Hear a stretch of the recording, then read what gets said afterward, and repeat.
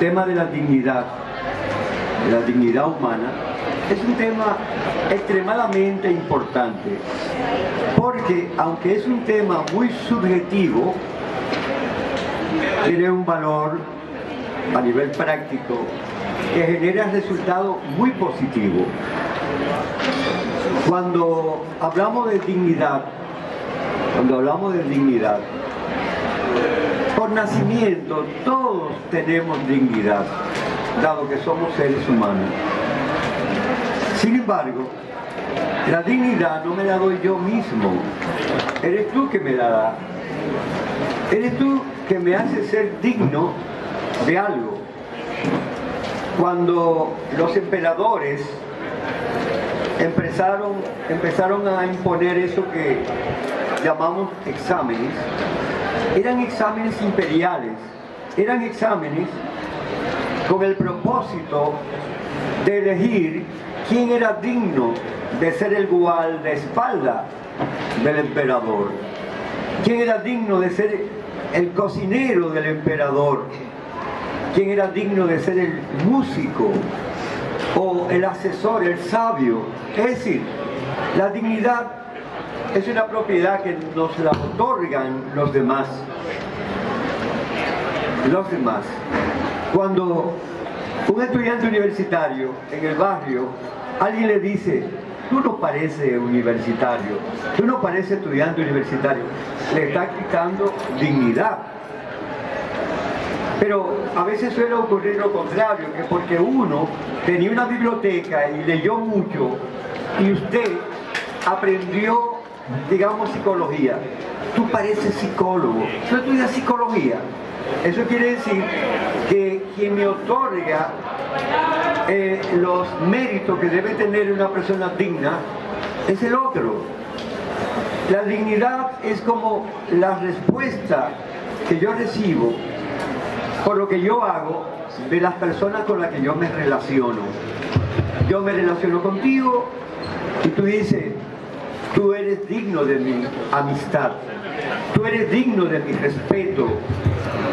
Un hombre enamorado a la chica que le dio agua cuando él tenía sed, le dice, tú eres digna de mi amor. Entonces, hay que tomar en cuenta eso, que esa característica que llamamos dignidad tiene un valor muy subjetivo y que por lo general es el otro, la persona con la que tú te relacionas quien te lo otorga.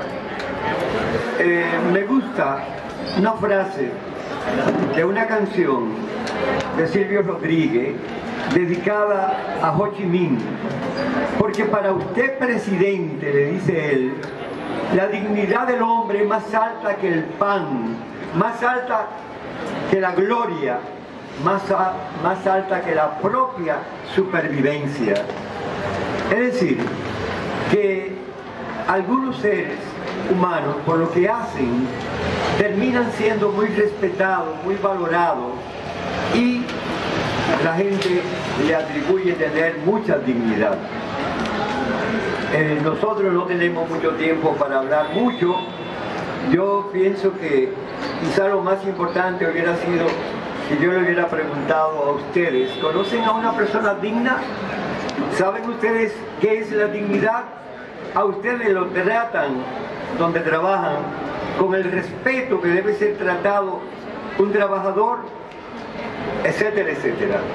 Eh, no voy a seguir hablando porque el tiempo nos limita, por eso le paso a Dulce Muñoz, compañero, para que él continúe hablando para ustedes. muy buenas tardes.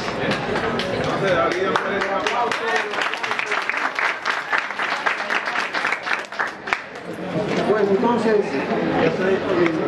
el mandato es en un criminal. Una prostituta, eh, no se escucha. En el llamado que nos convoca aquí, nos dice si hay dignidad en un criminal, en un asesino, si hay dignidad en una prostituta, si hay dignidad en alguien con problemas mentales severos. Bueno, es verlo en el contexto de la cultura donde se está definiendo el concepto dignidad.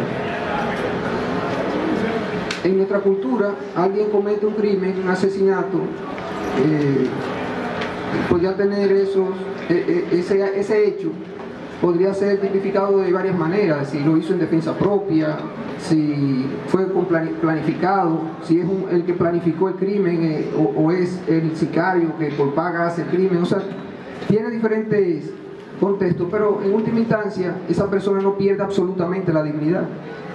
Eh, tiene, va a ser sometido a la justicia y tendrá que cumplir. Eh, se ve comprometida naturalmente su dignidad, se ve comprometida por el hecho que ha cometido y porque en nuestra cultura, en nuestra organización el comportamiento correcto que tenemos, cometer un crimen, es una falta.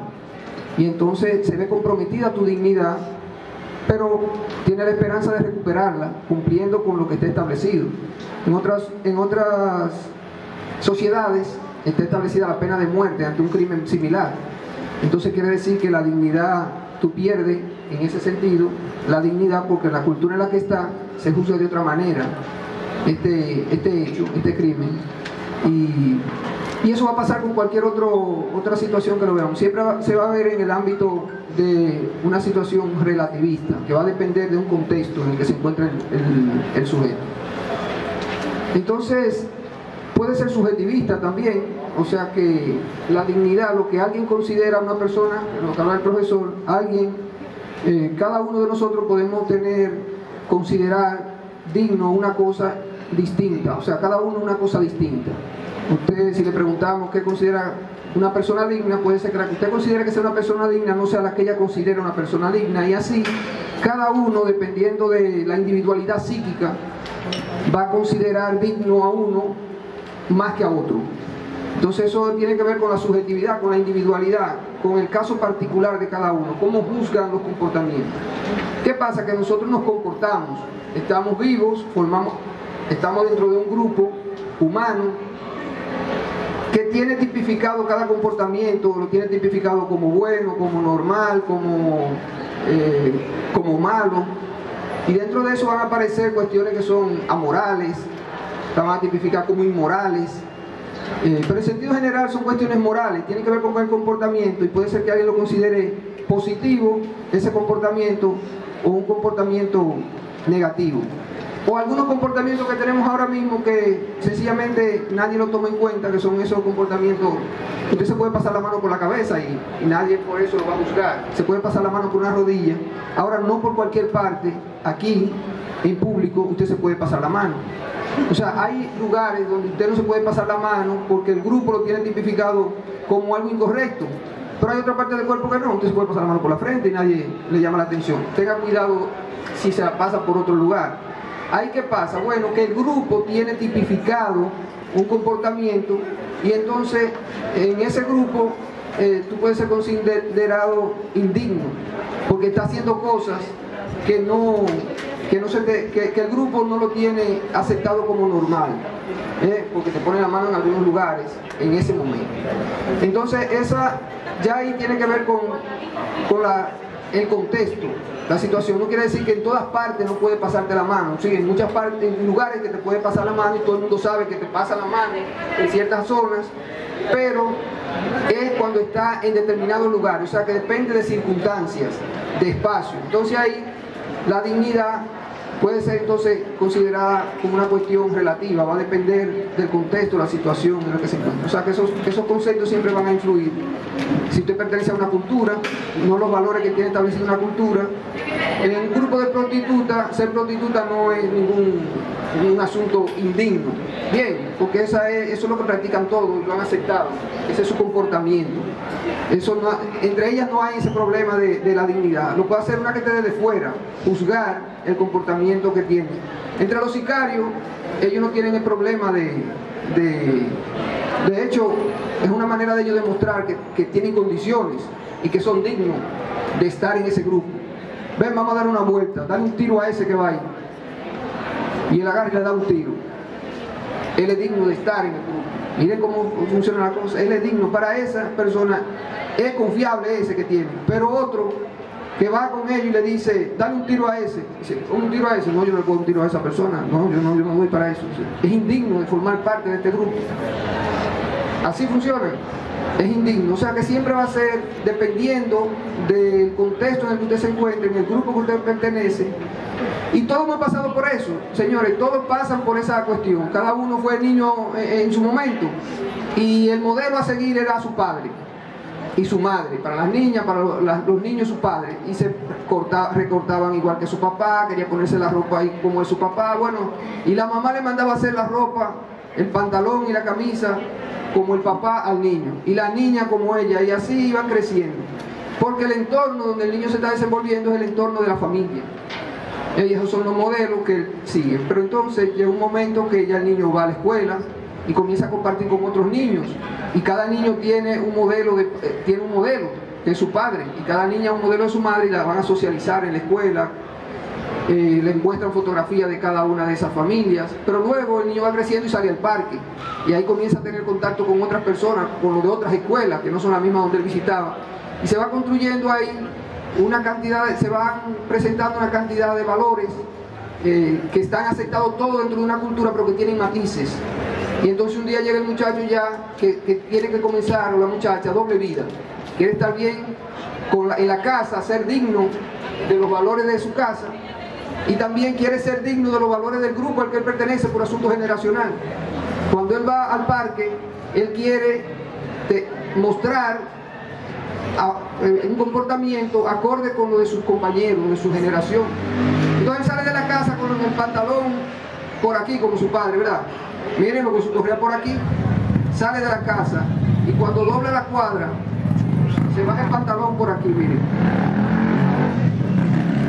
Y la muchacha sale con un vestido, con una ropa así, y cuando dobla la cuadra, se quita ese vestido y va en ligra con y, una y, unos brasieres solamente. Y así va porque lleva doble vida. O sea, ya tiene la presión social de su generación y tiene la presión social en la casa. Pero va a llegar un momento que el padre se va a dar cuenta y la madre, o sea, lo van a encontrar. Un se va a encontrar el padre, él va a salir con la ropa de la casa y en el camino va a hacer el cambio, pero un día el padre se va a encontrar. Y entonces se el conflicto moral de la generación y él tiene que decidir a qué grupo él pertenece. Si a la nueva generación que usa los pantalones rotos o a la de la mamá que nunca ha usado el pantalón roto. Se da ese, ese problema, ese choque, ese enfrentamiento y el padre tendrá también que entender que ese muchacho es parte de una época, que, que eso que, parece que le parecía indigno al papá porque lo hacían otros muchachos, ya en el suyo lo va a tener que aceptar, porque ese es su hijo, ¿qué va a hacer con el, hijo? Entonces ahí tendrá que entrar la negociación y decirle, bueno, yo te voy a aceptar que tú te des ese corte de pelo que tú te estás dando con una raya, una cosa de esa que era inaceptable para el padre en un determinado momento. Bueno, te voy a aceptar eso, pero tú tienes que mejorarme, las notas no me puedes eh, jugar con eso mientras vaya a estar dentro de esta casa. O sea, poner algunas condiciones, porque ya está el conflicto del paso de, a la adolescencia, que necesita acompañamiento porque él es capaz de entrar en nuevos círculos sociales y entrar en conflicto con los asuntos culturales de la familia. Yo creo que el tiempo ya se acabó, ¿verdad? O todavía no quedaba un segundo. Avidio, eh, gracias, muchas gracias. Muchísimas gracias a los profesores Dustin Muñoz, Dustin Muñoz y Aridio de Boya. Aridio, ¿usted va a decir algo más? Yo puedo, puedo concluir diciendo que pertenecemos a un grupo humano, a un grupo social, y que nosotros, conociendo cuáles son los valores que ese grupo toma en cuenta para premiarnos o castigarnos, eh, tenemos que asumir la conducta de quienes nos van a atribuir esa calificación de que somos dignos. Un sicario tiene que ser un criminal para ser digno de estar en el equipo de sicario. Un buen estudiante tiene que asumir una conducta de automotivación para aprender a leer, a escribir y a investigar para ser digno de que el maestro lo califique como un buen estudiante. Gracias. Muchas gracias. eh, ha llegado el momento de las preguntas. El problema de la dignidad. ¿Tienen dignidad los homosexuales, las prostitutas, las personas con deficiencia mental severa? ¿Ustedes saben qué sucede? Que hay en culturas en las que eso está tan mal visto, ¿verdad? Que pues se te condena a muerte porque entonces no, no, no eres digno de estar vivo si eres un homosexual o si eres una prostituta. De hecho, hay una, una, una- unas lecturas bíblicas que nos, nos remiten a una costumbre hebrea, ¿no? Había que apedrear a, la mujer adúltera. Es decir, ya había perdido la dignidad. ¿En qué momento pierde entonces, profesores, en lo que se animan los muchachos? ¿En qué momento se puede decir que una persona pierde la dignidad? En términos generales. O sea, que ya no es digno de estar y vivir junto con los, demás, junto con nosotros, y merece morir, ya sea para el sicario o para la ley. Bueno, en ese caso eh, es una cuestión de carácter ética. Eh, ustedes saben que hay una diferencia entre la moral y la ética. La moral son los comportamientos que están establecidos en el grupo al que nosotros pertenecemos. Y la ética son las reflexiones que hacemos sobre, ese comportamiento. Muchas veces esas reflexiones las hacemos condicionadas por el lugar donde hemos, hemos crecido y hemos pensado como pensamos. Eh, pero no necesariamente nosotros vamos a considerar como buenos todos los valores morales que se aplican en nuestra cultura y hace una reflexión más allá de eso. Eh, lo que pasa es con, con el tema esto es que esa reflexión siempre se va a hacer en ese contexto, en un contexto. Si uno se lleva, el, por ejemplo, el crimen, eh, lo podemos hacer en, una persona, no lo podemos hacer, pero sí lo podemos hacer los animales. Entonces alguien podría decir, los, los animales tienen derecho también, tienen derecho a la vida también. Entonces eso va a depender en ese caso siempre de los valores que estén establecidos en una cultura, maestro.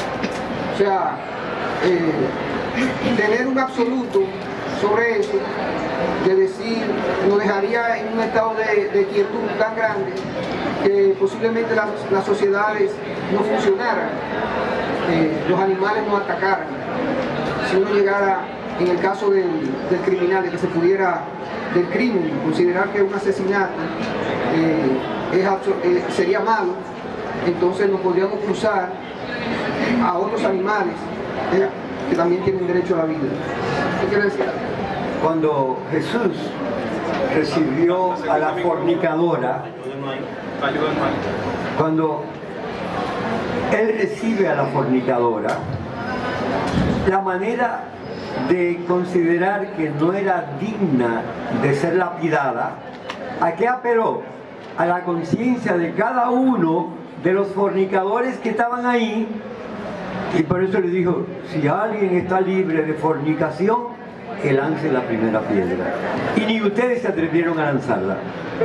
Bueno, eh, lo, lo que pasa con ese, ese, ese relativismo es que nos deja en la siguiente situación.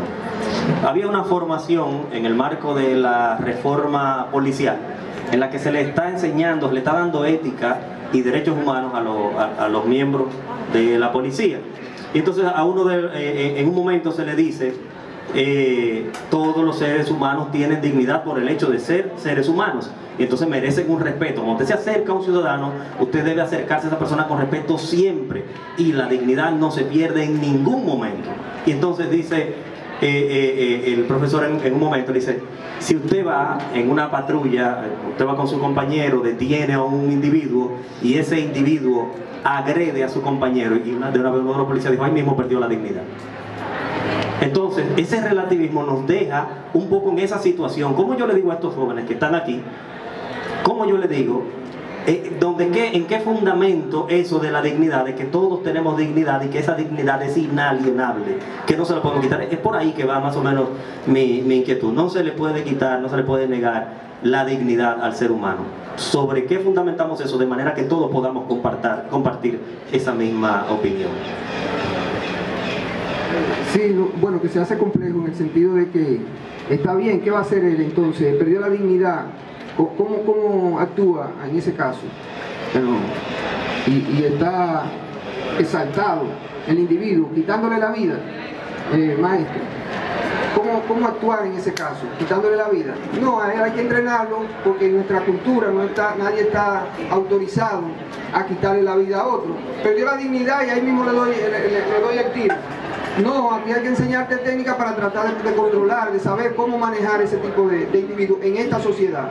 Porque nadie está autorizado a ejecutar personas eh, aquí eh, para por un hecho que haya cometido. Así está tipificado. Y nosotros actuamos y reflexionamos sobre eso en función, porque nosotros podríamos pensar que ciertas cosas se pueden hacer desde el punto de vista de la ética. Pensar que sí se puede hacer todo eso. Pero ya la ejecución lo hacemos en el marco de unas cuestiones establecidas legalmente. Y entonces es un exceso porque tú no podías quitarle la vida en esa en una como quiera ya está acusando los niños porque entonces te- tendríamos ahí que, que ver eh, si no había otras posibilidades Eh, siempre es un poco complicado siempre va a ser un, un- un asunto complicado de, de definir en ese caso Ah, por cierto. ¿Tiene prioridad?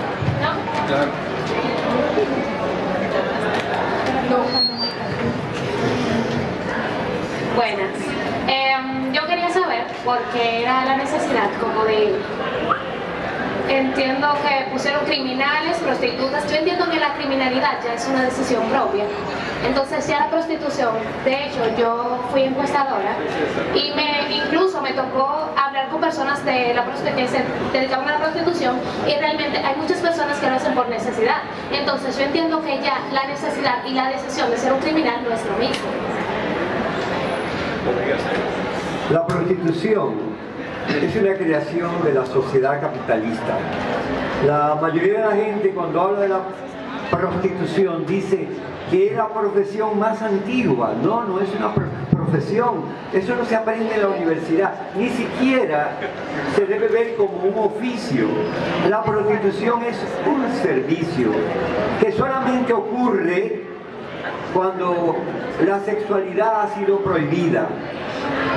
Prohibida en el sentido de que se le llama fornicación a tener relación sexual sin autorización de la iglesia y del Estado. Sin embargo, el derecho a la sexualidad, eso empieza mucho antes de que a uno le den la autorización.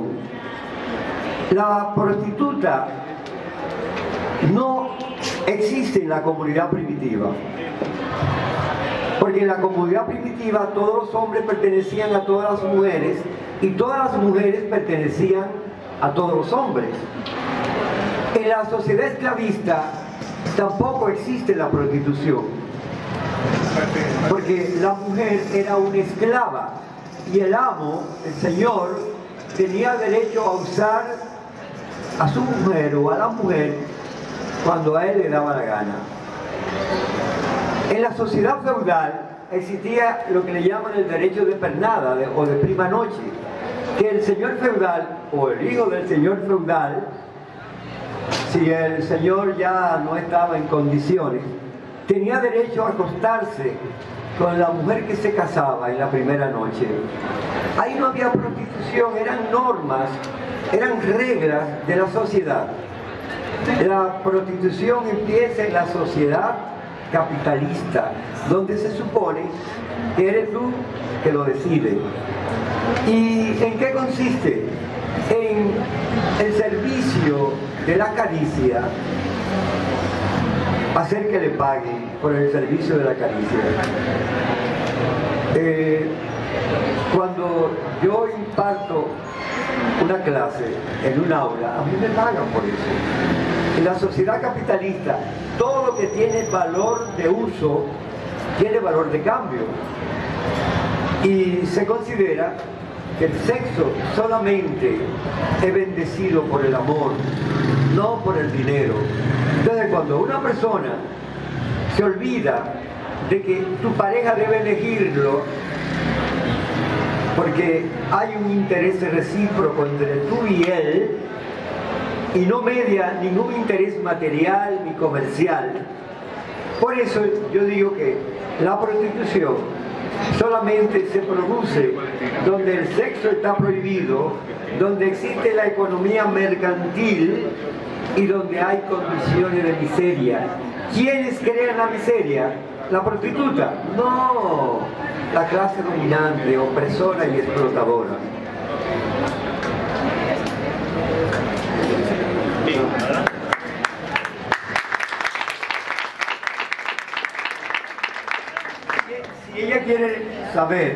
Si la prostituta perdió su dignidad, claro que sí. Porque usted no, tiene, no era tú tienes alternativa. No era esa la pregunta, lo que yo tengo entendido, o sea, lo- la pregunta que hice fue que por qué se trataba la criminalidad con la prostitución o con la homosexualidad. Bueno, es que el homosexual es un anormal que no sabe que un hombre no es un hombre si no tiene una mujer. Una mujer no es una mujer si no tiene un hombre. Es delicado. Pero yo me arriesgo A decir que es un Sí, vamos a continuar con la siguiente pregunta para ver si el tiempo nos da para los siguientes monitores. Y seguimos por esta línea. Eh, nos vamos con otras dos horas más. Yo pienso que la dignidad sería bueno definirla, porque si hablamos de dignidad como algo que es dependiendo de lo que otra persona me atribuye, pues yo siento que tiene algo de verdad, pero no siempre. Hay dignidades que son inherentes a las cualidades de la persona. Eh, por lo tanto, inclusive se debate constantemente los derechos humanos en base a su dignidad. El hecho de matar a alguien o castigar a alguien ti- tiene niveles. Hay niveles que sería bueno definirlo, porque, por ejemplo, ahorita se mencionó de que todos los seres humanos merecen dignidad. Pero si yo le doy una galleta a un policía, entonces tiene derecho a usar la fuerza contra mí. Pero ¿hasta qué nivel puedo usar la fuerza contra mí? Pues yo darle una galleta y no puede matar. O pues yo darle una galleta y no puede poner eh, tras la reja o algo por el estilo. ¿Hasta qué nivel se, se, se pone eso? Se habla también de la criminalidad y al mismo tiempo se introduce de alguna forma la homosexualidad entre junto con la criminalidad. No sé exactamente el por qué. No sé cómo se liga la homosexualidad con actos criminales, pero entiendo que una sociedad como la nuestra, que es técnicamente laica, pero muy influenciada del cristianismo, eh, se entienda que la homosexualidad es un pecado, una cosa maligna, no sé qué, algo anormal. Eh, yo, pienso, yo pienso que lo que no enfatizamos es la pluralidad de nuestra sociedad. Los seres humanos somos todos diferentes, nos guiamos por términos diferentes, pensamos de forma diferente, actuamos de forma diferente. Cuando nos centramos solamente en la perspectiva mía, en que yo soy el que sé, y yo determino lo que sí y lo que no, ahí cae eso de que la dignidad se- sea como subjetiva pero no nos damos cuenta que hay otra persona que cree diferente, que ve las cosas diferentes, que piensa diferente y por lo tanto también actúa diferente.